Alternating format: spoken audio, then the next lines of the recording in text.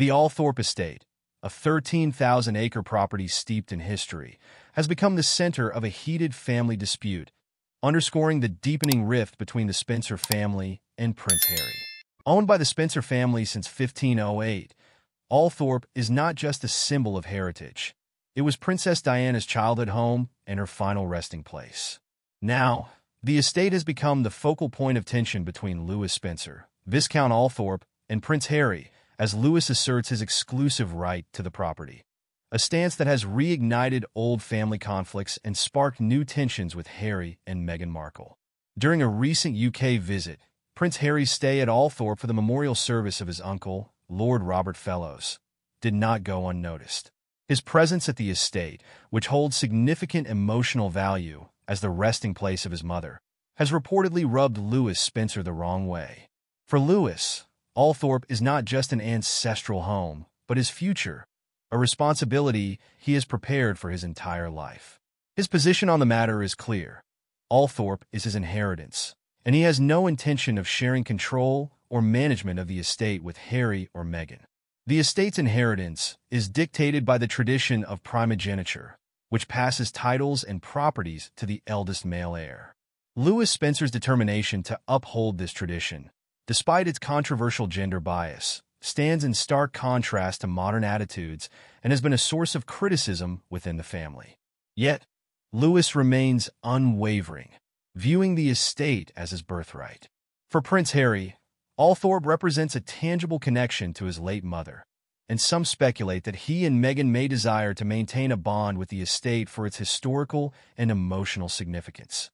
However, this connection appears unwelcome to Louis, who sees any involvement from Harry and Meghan as a challenge to his authority and legacy.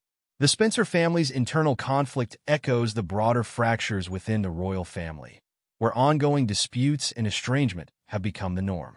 Prince Harry's strained relationship with his brother, Prince William, and the larger royal institution only compounds the complexities of his ties with the Spencers.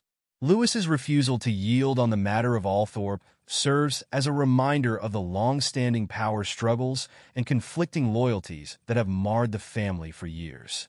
Amidst these familial tensions, the symbolic weight of Althorp cannot be overstated. As Diana's childhood home and her final resting place, it embodies the legacy of the Spencer family, one that is fiercely protected by Louis. His commitment to preserving the estate both as a historical treasure and a personal heritage, leaves little room for compromise, even with close relatives. This dispute not only highlights the personal stakes for Louis, but also shines a light on the broader dynamics of wealth, inheritance, and control that often plague aristocratic families. Louis's stance has drawn both criticism and support. Critics argue that the primogeniture tradition is outdated and unfair, perpetuating gender inequality within aristocratic inheritances. Supporters, however, view Louis's determination as a rightful defense of his family's legacy. For Louis, this is not just about maintaining an estate. It's about upholding centuries of family history, an obligation he believes has been entrusted to him alone. The ongoing tension between Louis and Harry reflects deeper, unresolved issues that continue to haunt the Spencer and royal families. As the younger generation grapples with the burdens of their legacy, the battle over Althorp serves as a potent reminder of the complexities and conflicts that lie beneath the surface of Britain's aristocratic traditions.